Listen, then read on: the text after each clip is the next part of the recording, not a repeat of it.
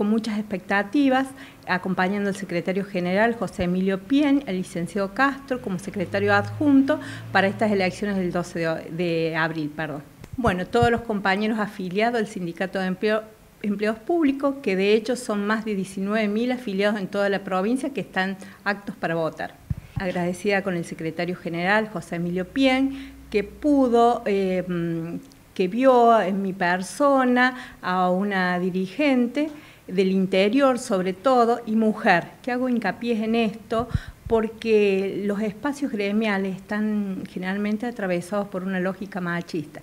Entonces, darle un espacio a la mujer y a la mujer del interior es, que hay que saber aprovecharlo, hay que saber, eh, digamos, proyectarse, trabajar mucho para no solo dejar bien representado el interior, sino también al género, a, eh, las mujeres.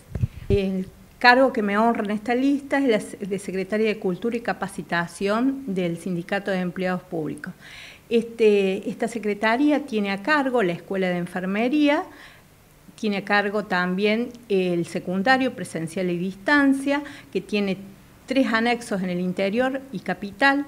La Escuela de Enfermería tiene ocho anexos en el interior también contamos con la licenciatura en gestión pública, además de la nueva carrera en hemoterapia hemos derivado. Todas carreras eh, o con título oficial y que eh, se proyectan en Córdoba capital y en el interior. Hay varios proyectos en danza, está la cuestión de la Secretaría de Cultura y la parte gremial, digamos una capacitación eh, continua para que nuevos delegados se capaciten y conozcan.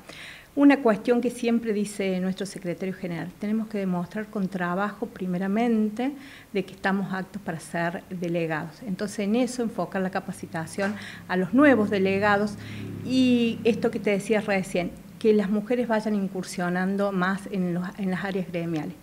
A mí me honra que el secretario general me haya propuesto, además conociendo mi afiliación partidaria.